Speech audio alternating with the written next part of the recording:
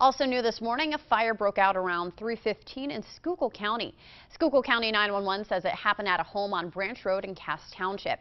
Firefighters reported seeing flames as they battled this fully involved fire in Schuylkill County.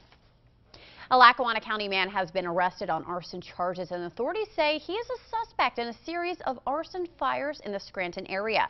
Scranton police arrested 52-year-old John Olszewski last night. The South Scranton man faces a number of felony charges.